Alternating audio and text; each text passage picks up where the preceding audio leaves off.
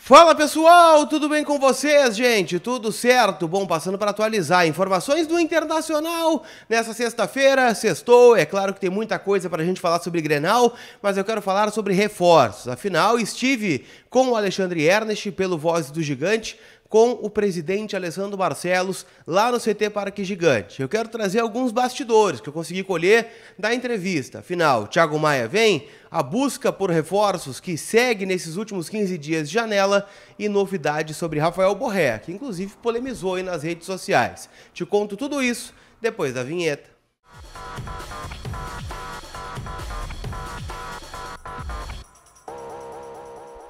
Tudo bem, gente? Vamos trocar uma ideia então. Afinal, né, muitas coisas para a gente falar em relação à janela de transferências do Internacional. Tenho anotado aqui, tá? Tudo para falar com vocês, até para a gente não deixar passar batido nenhum tema, tá bom? Então vamos trocar uma ideia. O vídeo tem a força da Zapay, aplicativo gratuito, onde você paga o seu IPVA 2024 com até 22% de desconto e no cartão de crédito. Então tá disponível aqui o link na descrição do vídeo.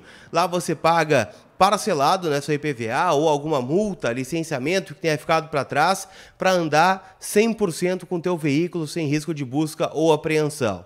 Então chama a Zapay, link na descrição e cupom COLAR20 te dá 20% off nas taxas do parcelamento, para tu ficar em dia e tranquilo e já né, passar na Zapay, né, que é minha parceira aqui, apoia o meu conteúdo. Então se tu gosta do canal também, faz lá via Zapay para ficar em dia com o teu IPVA tá bom? Zapay, Z-A-P-A-Y, parceira aqui do canal.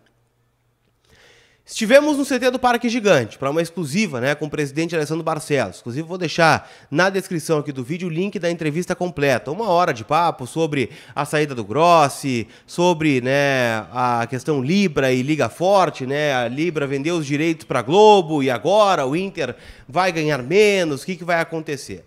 É, e outras questões, evidentes, de forma mais ampla, né, que a gente pode né, ampliar na sequência. Mas nesse recorte aqui, eu quero falar sobre janela de transferências, reforço, a busca do Inter por novos jogadores. É, vamos lá, o Inter trouxe dois jogadores novos aí nos últimos dias, né, que é o Fernando e o Bruno Gomes, jogadores de meio campo. E por que, que eu estou introduzindo esses dois atletas aqui no nosso papo? Porque eu quero falar sobre Thiago Maia mais uma vez. Porque é muito claro na conversa, e pessoalmente a gente tem né, esse a mais de pegar um pouco do bastidor é, da admiração que o Inter tem pelo Thiago Maia e da convicção que o Inter tem por esse jogador.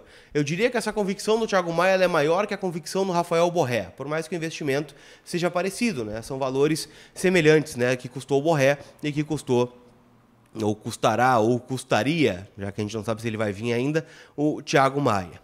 O Inter tem como ideia, né, o Bruno Gomes, duas coisas. Primeiro, ele tem passaporte italiano, ele tem né, a possibilidade de ser um jogador jovem, que o Inter já tinha 50% do percentual, de ser uma peça a ser lapidada pelo Eduardo Cudê e ser um dublê de Arangues. Né? Eu trato e tratei ele como um dublê de Arangues é, durante né, todo o período de especulação desse jogador e o Barcelos praticamente confirmou que o Cudê enxerga ele realmente dessa forma.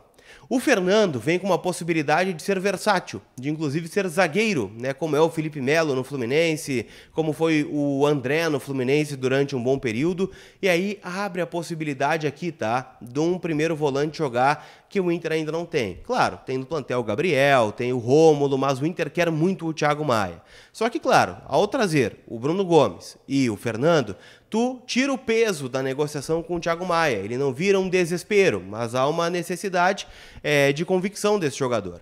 Né? E ele quer muito vir. Né? A gente vê, a gente está vendo posts aí do Thiago Maia é, dando a entender né, que está pedindo a Deus né, para que consiga né, ser liberado, que mantenha calma aí nesse momento de dificuldade, mas né, o Inter está tentando a contratação ainda desse jogador. Só que a bola está com o Lille, o Inter não vai aumentar um real da proposta que fez até agora ao Flamengo, na casa dos 4 milhões de euros, mas precisa se ajustar a questão do percentual entre eles. O Inter não vai mexer nenhum pauzinho nesse sentido, mas eu fiquei com a impressão de que o Thiago Maia sim, né, ainda está na pauta e ainda vai ser contratado pelo Internacional.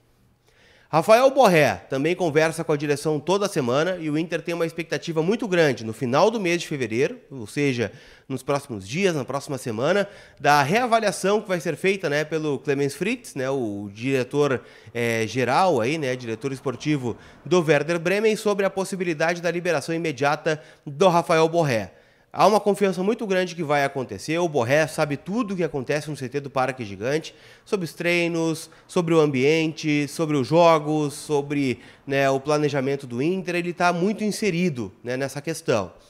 É, ontem ele fez um post né, meio enigmático, né, falando sobre é, não ter resultados diferentes né, a partir de postura da diretoria, né, enfim, um tweet meio aleatório né, do Rafael Borré, mas até onde se sabe, conversando com as pessoas do Inter, esse tweet foi direcionado ao Eintracht Frankfurt, que foi eliminado né, da Conference League da Europa para um time pequeno da Bélgica, né? o Eintracht Frankfurt, que foi campeão é, da Europa League quando tinha o Borré por lá. Ele ficou muito chateado com a forma como saiu do Eintracht Frankfurt, sendo emprestado ao Werder Bremen e agora posteriormente né, vendido ao Internacional, enfim, agora um novo ciclo, mas aproveitou para dar uma alfinetadinha no Eintracht Frankfurt. Foi aquele glorioso tweet, o culpado ainda sou eu, né? foi mais ou menos por aí a linha do Borré. Mas todo mundo confiante de que ele será é, apresentado antes mesmo do fechamento da janela, no dia 7 de março, quando né, encerra o prazo de inscrições no primeiro semestre aqui no Brasil. Para a gente fechar, eu fiz uma pergunta para o presidente. Ainda vem lateral esquerdo? Ainda vem goleiro? E a resposta é muito clara. Goleiro, sim. O Inter vai contratar um goleiro, não porque não confia no Anthony, não porque o Rocher não vai voltar, mas porque numericamente o Inter está precisando. O treino no CT do Parque Gigante tem contado com três garotos. O Anthony, e aí nós vamos para o Diego do Sub-20, o Thiago e o Henrique, né? Goleiros que não têm a menor perspectiva, né? Ou que não tinha a menor perspectiva de jogarem já agora, num curtíssimo espaço de tempo. Eles ainda precisam ser lapidados, ainda precisam ser formados pelo clube. Então, por isso, né, o Inter vai ao mercado contratar o goleiro. O nome principal é o Ronaldo do Atlético Goianiense, só que lá no Atlético tá difícil tirá-lo, né, por conta, né, é, da janela fechada no dia 7, né, e aí o Inter tiraria o goleiro titular e por vezes capitão do Atlético Goianiense numa reta final de campeonato estadual. Então tudo isso tem que ser levado em consideração. Mas um goleiro sim vai ser contratado e a informação que eu tenho é que outros nomes também estão na pauta. Gabriel Vasconcelos do Curitiba, alguns goleiros brasileiros que estão jogando no futebol europeu. Então, já ouvi alguns nomes, estou tentando confirmar. Uh, mas vamos embora, tá? O Inter vai trazer um goleiro. Lateral esquerdo, eu acho que existe uma possibilidade grande de não chegar agora. É claro que há uma necessidade né, de briga por posição com o René, para que seja cumprida aquela coisa de dois jogadores por posição, mas o Inter quer um jogador para ser titular na vaga do René. E o René correr atrás da máquina, e se o René for melhor que este cara no dia a dia do treinamento, joga o René. Assim, o Inter não vai trazer um novo Dalbert. O Inter não vai trazer um lateral só por trazer. Aí fica com tal Olara, ficava com Dalbert e estava tudo certo. O Inter quer esse jogador, só que está difícil de encontrar. Eu tenho a impressão de que esse cara chega na metade do ano.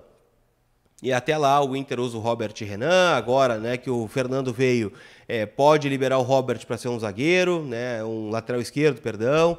O próprio, é, daqui a pouco, né, o Depena de novo no setor, não sei, tá? O Inter vai jogar com as armas que tem, mas não fiquei com a impressão de que vem um lateral esquerdo para agora.